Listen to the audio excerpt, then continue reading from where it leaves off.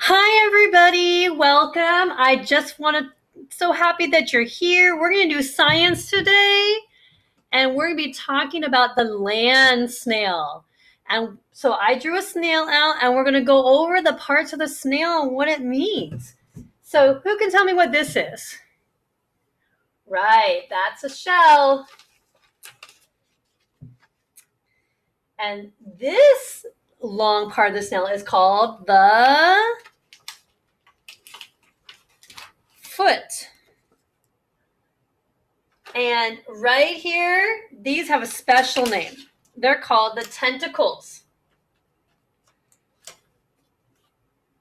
At the top of the tentacles are the eyes. And right here, they eat with their mouth. Okay, so these are the parts of the snail.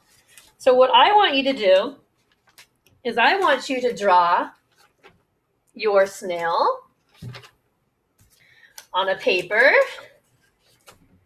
And then I want you to label the parts of the snail and then I want you to take a picture and send it to me on the Bloomz app, okay? You can also access a copy of an outline on the Google Classroom, which is where this video will be.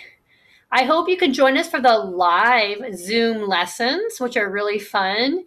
And uh, you can do this in real time instead of a video with Mrs. O. So I am going to attach a video about snails also to the Google Classroom and YouTube so you can learn a little bit more about snails and get more information. All right, hope to see you online. Bye.